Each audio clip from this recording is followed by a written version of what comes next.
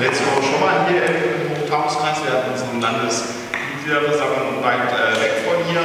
Sehr erfolgreich aus unserer Sicht, äh, sehr harmonisch auch und auch äh, mit zukunftsweisenden Beschlüssen.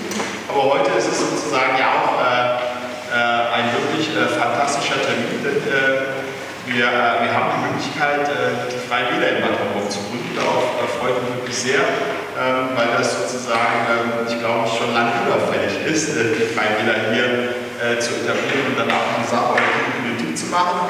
Wir haben gleich einen sehr formellen Vorgang vor uns. Und äh, ich komme vom Dorf, das ist also nicht so groß wie Bad Homburg, 4500 Einwohner. Und äh, bevor wir das formelle anfangen, würde ich gerne erstmal so eine Vorstellungsrunde machen, damit ich weiß, mit wem ich am Tisch sitze. Sie sehen, ich bin da äh, sozusagen alte Schule, äh, trage auch einen Anzug, weil ich auf der Sparkasse gelernt habe. Mein Name ist Emile Rucklu, komme aus Nordhessen, äh, ja, aus Ziegenheim, bin da geboren, in die Kita gegangen, Grundschule, Abitur gemacht in diesem Dorf, äh, habe dort die Ausbildung zum Bank- und Sparkassenkaufmann angefangen und abgeschlossen äh, und wurde heute genau geboren und äh, werde da hoffentlich auch irgendwann begraben. Äh, ich bin äh, für uns im Europäischen Parlament äh, tätig, ähm, als Abgeordneter in zwei Ausschüssen. Einmal im Ausschuss für Wirtschaft und Währung, weil ich behaupte, bei Währung habe ich kein Historisches, das nehme ich dann raus, habe ich mal gemacht, war aber selbstständig Unternehmer, bin jetzt eigentlich immer noch trotz meines Mandats und bin im Ausschuss zur, zur Verteidigung der Europäischen Union und die Auswärtigen Angelegenheiten, also der Auswärtige Ausschuss im Europäischen Parlament auch, das sind die zwei Sachen, die ich dort mache. Ja, ansonsten noch Landesvorsitzender der Freien Wähler in Hessen, deswegen darf ich äh, die Versammlung leiten, das ist mir eine Ehre, und auch äh, stellvertretender Bundesvorsitzender der Freien Wähler in Deutschland. Ja, ich sage auch noch ein paar Worte zu mir. Äh, Laura Schulz, mein Name, ich komme aus Landkreis Offenbach, also eigentlich hier um die Ecke, bin ja schnell Bad Homburg in einer halben Stunde, äh, komme aus der Stadt Obertshausen, sitze jetzt auch schon seit vielen Jahren im Stadtparlament, bin dort vor Ort Fraktionsvorsitzende. Wir regieren, würde ich auch sagen, recht erfolgreich mit der CDU dort zusammen seit dieser Wahlperiode. Ähm, genau, und ähm, im Kreistag ähm, arbeite ich auch mit für die Fraktion. Da sind wir auch gut vertreten bei uns im Landkreis. Ähm, ich bin Soziologin von Beruf, arbeite im Bereich Demokratieförderung in Offenbach. Äh, ja, ich freue mich wirklich, dass äh, Christine hier so voller Tatendrang vorangeht und dass es hier klappt in Bad Homburg heute mit der Gründung. Ähm, ja, ich denke, Taunus hat noch viel vor. So erscheint es mir. Ich freue mich, dass wir vielleicht ähm, später nach dem formellen Teil dann noch mal in Gespräche gehen können und schauen können, wie wir hier noch aktiv als Freie Wähler vorangehen können. Ja, hallo in Runde.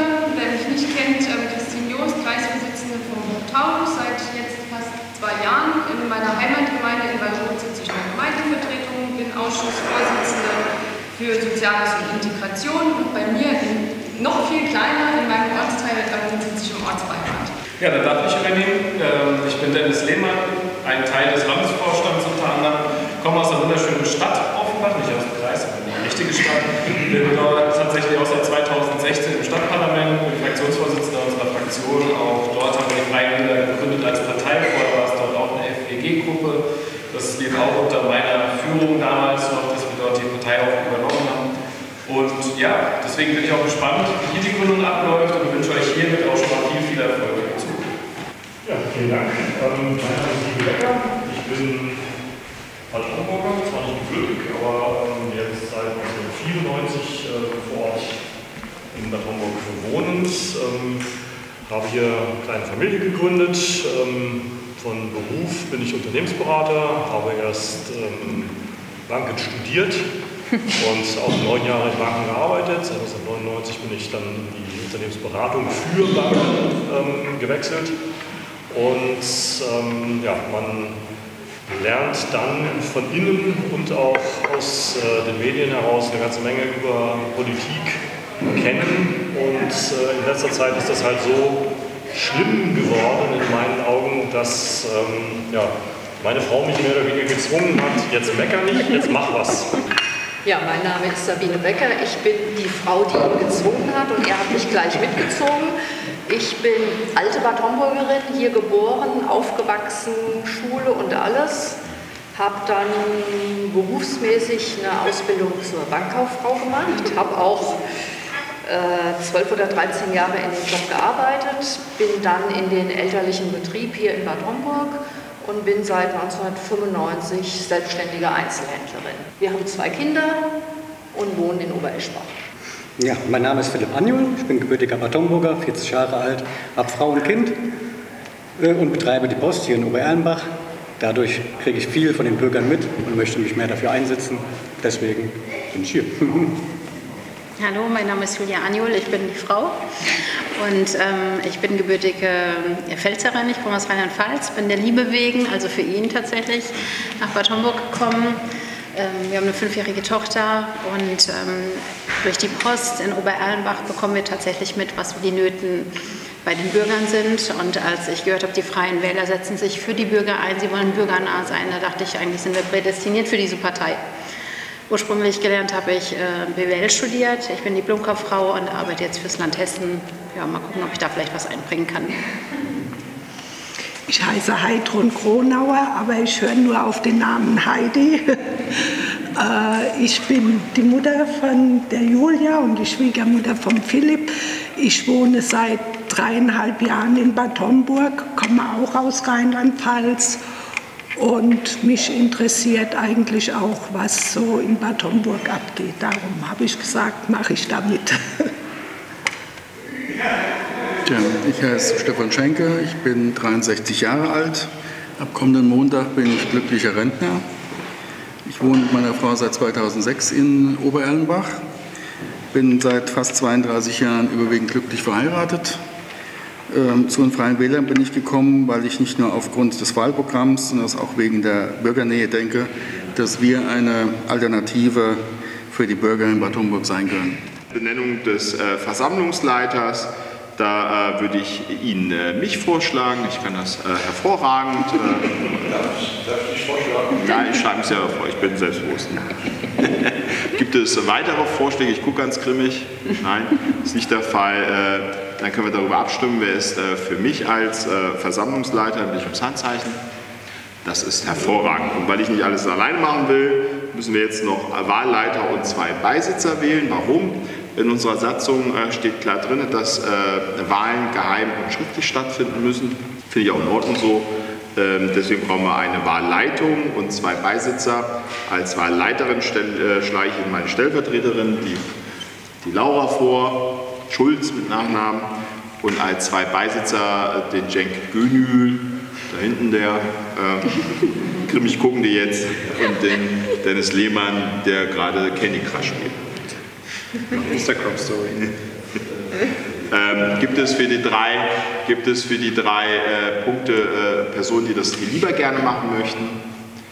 Das ist nicht so, dann würde ich das nach und nach abstimmen. Wer ist für Laura als Wahlleitung, die ums Handzeichen. Äh, wer ist dagegen? Niemand, dann äh, Laura bist du gewählt, herzlichen Glückwunsch. Dann die beiden Beisitzer gemeinsam, wer ist für Jake Bünül äh, und Dennis Lehmann äh, als äh, Wahlzettelsammler und austragende Menschen, bitte um die Handzeichen. Dagegen, dann äh, herzlichen Glückwunsch, dann ist das auch gemacht. Hier, Dennis, das geht schon mal an dich. Bevor ich an die Wahlleitung übergebe, beim Tagesordnungspunkt 8 äh, darf ich noch Tagesordnungspunkt 7 machen. Äh, Beschluss einer Geschäftsordnung. Ähm, aktuell sind wir noch eingetragener Verein, hoffentlich bald nicht mehr. Da haben wir gerade letzte Woche hier beschlossen im Nachbarort, dass wir äh, aus dem Vereinsregister ausgetragen werden wollen. Aber daran ändert sich äh, nichts an dem Vorgang, dass wir unseren ähm, Kreis- und Ortsvereinigungen empfehlen, keine eigenen Satzungen zu machen. Äh, warum? Wir sind die Partei, die Bürokratieabbau fordert. Deswegen macht es auch Sinn, keine unnötigen bürokratischen Sachen zu beschließen. Äh, es gilt äh, bei uns immer die Bundessatzung und es macht Sinn, wenn es eine Bundeswahlordnung gibt und eine Bundessatzung gibt und dort alles geregelt ist, äh, nicht Experten auf Landes-, Kreis- oder Ortsebene, die mal im Hasenzüchterverein in irgendeiner irgendeiner Satzung mal einen Satz gelesen haben, zu sagen, ob das funktioniert, wie auch in der Satzung steht, dann macht alles keinen Sinn. Beim Freien Wählern lernt man ein Regelwerk das gilt auf allen Ebenen. Und wenn irgendwelche Spezialisten meinen, sie wüssten, wie man Satzungen besser schreiben kann, dann sollen sie das auf Bundesebene beantragen. oder in ihrem Gesangsverein, wo sie tätig sind, aber nicht sozusagen auf der Landes-, Kreis- und Ortsebene Menschen quälen mit Satzungsdiskussionen. Davon halten wir nichts. Wir wollen Politik machen und uns nicht gegenseitig nerven. Und deswegen empfehlen wir nur Geschäftsordnungen, äh, die sozusagen die Arbeit vor Ort regelt, untereinander. Und äh, ja, die wurde mit äh, Einladung verschickt. Gibt es denn jemand, der der Meinung ist, dass diese Geschäftsordnung auf zwei Seiten nicht lang genug ist und sie gerne ergänzen möchte? Diese erweiterte um Beisitzer vorliegende Geschäftsordnung ähm, wurde jedem äh, zur Verfügung gestellt. Sie nicken. Gut, gibt es jemanden, der die noch weiterhin erweitern möchte? Das ist nicht so, dann können wir die auch wieder per Handzeichen abstimmen. Und wie gesagt, äh, sortiert die Arbeit vor Ort. Wer ist für die Geschäftsordnung, wie vorliegt? Hervorragend. Dann können wir äh, jetzt, äh, ach, wer ist dagegen? Enthaltung einstimmig äh, beschlossen. Ja, ähm, dann gebe ich weiter jetzt an die Laura und die macht jetzt den Wahlakt Nummer 8. Und ich lehne mich zu. Genau, wir äh, schreiten jetzt voran mit Tagesordnungspunkt 8, Wahl des Gesamtvorstandes der Ortsvereinigung. Ähm, und wir haben ja auch gerade schon ähm, die Wahlleitung, die Beisitzer gewählt. Die Wahlen müssen nämlich geheim erfolgen, so sieht es die Satzung vor. Ähm, die erste Wahl, die wir durchführen werden, ist die Wahl zum Ortsvorsitzenden. Und ich frage Sie, gibt es hier Vorschläge aus der Runde? Ja, können wir auch mal gucken. Wenn es, äh, gibt es noch Fragen an Herrn Anjol aus der Runde? Nö, denke ich nicht. Dann dürfen jetzt äh, meine Beisitzer loslegen und die Wahlzettel verteilen. Von den anwesenden acht Mitgliedern auch, das ist schon mal sehr schön. Und es äh, fielen auf Herr Anjol acht Ja-Stimmen. Herzlichen Glückwunsch, nehmen Sie die Wahl an, Herr Anjol. Sehr gerne.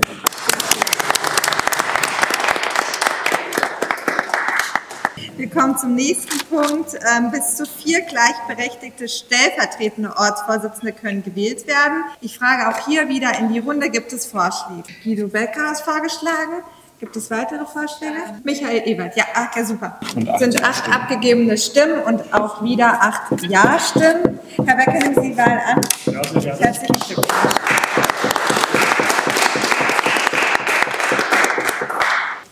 Wahlgang ist beschlossen, es wird ausgezählt. Genau, wieder acht abgegebene Wahlzettel und acht Ja-Stimmen. Herzlichen Glückwunsch. Michael, nimmst du die Wahl an?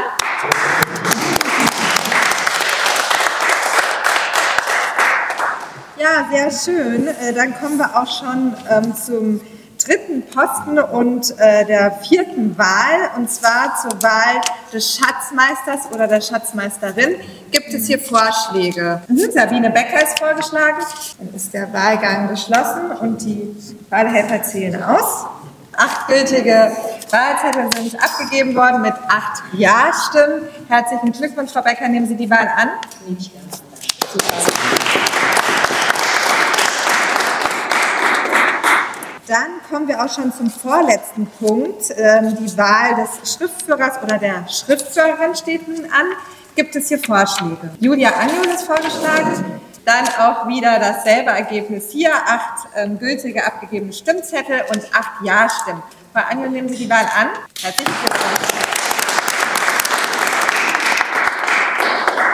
Dann kommen wir zum letzten Punkt, zur letzten Wahl. Ähm, hier haben Sie ja eben bei Top 7 beschlossen, ähm, dass zwei weitere Beisitzer im Vorstand mitarbeiten sollen.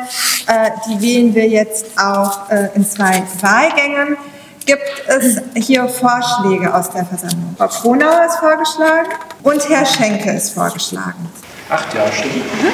Acht abgegebene gültige Stimmzettel und acht Ja-Stimmen. Frau Kronauer, nehmen Sie die Wahl an. Super.